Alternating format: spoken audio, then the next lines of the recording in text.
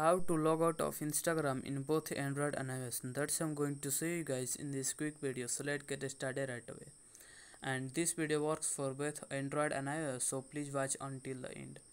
So what you have to do to uh, log out of instagram so you have to open your instagram app and then click on your uh, profile icon in the bottom right corner. Then you come to your profile page. Then you have to click on the three horizontal lines in the top right corner. And from this menu uh, you have to click on the settings in the top and then here you have to log on.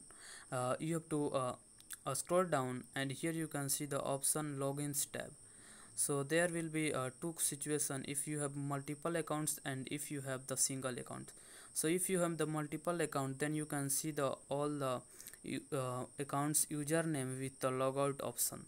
So what you can do to or log out from this account you can choose the any of the account that you want to log out uh, with uh, uh, so you have to uh, click on the any of the account and when you click on the account then you can see the option of logout click on the logout and then you can log out from the multiple account.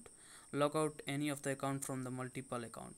So if you want to the uh, log out the from the single account eh, and so what you can do is when you uh, scroll down to the most bottom then you can see your option the logout with your username. So what you can do is in my case the logout with the username is not available so there is only logout option.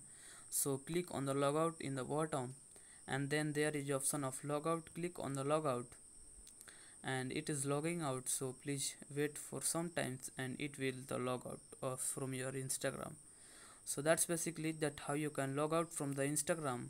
So if you found this video helpful please subscribe to my channel like on this video and comment below that it works. I appreciate that